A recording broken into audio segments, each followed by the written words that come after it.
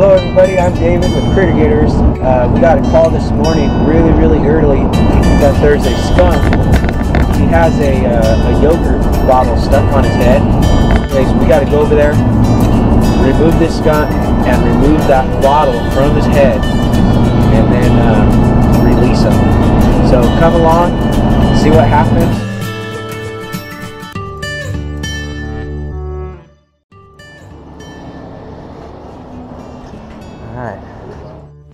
Well, what happened is this skunk had been digging in trash somewhere in close proximity to this truck uh, repair warehouse, and he found a yogurt bottle that had some yogurt residue left over in the bottom of the bottle.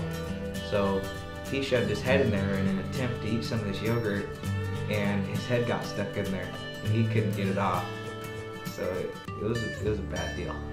I wonder how long he's been in here.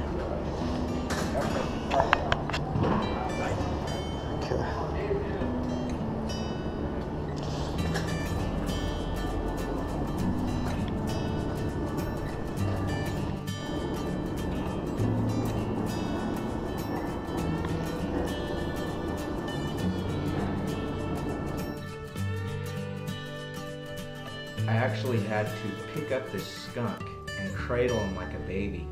It was the only way to get him from where he was laying on the ground to the back of my truck.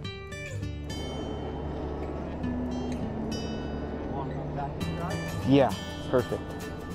That'll be perfect. Thanks, man.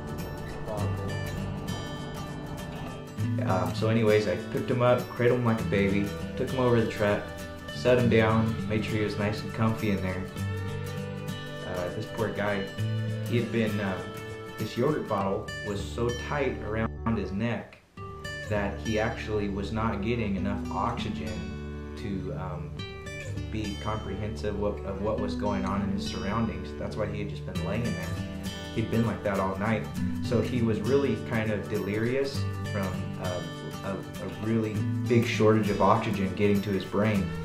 So immediately I um, took my razor blade, cut some holes in the into the yogurt bottle so he can start getting some oxygen to his brain and start uh, getting his senses back to him. Here we go. Um, you're watching this video and you're probably thinking, wow, that's that's just so easy. Anybody can do that. Well, you got to remember, um, I, I've been working with all these wild animals, uh, skunks a lot, and I've been doing it for about three years. So I have a really good understanding of their body behavior and their body language. That just says huge of what they're what you can expect them to do. Um, so just because I do this and it looks really easy, don't go and try to pick up a skunk or do something like that. I've been doing this for years. I understand their body language. And you also want to be really careful of skunks because um, 9 out of 10 skunks carries rabies in their saliva. That's just the norm for um, skunks. And so uh, it's really important if you have skunks in your that you know are living under your house or living under your porch.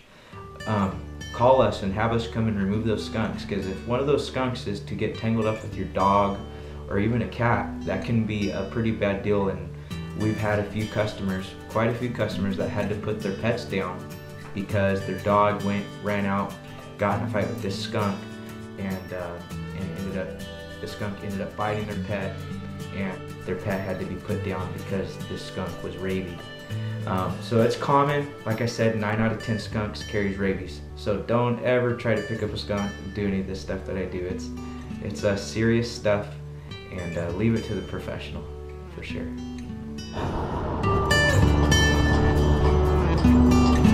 You can see now.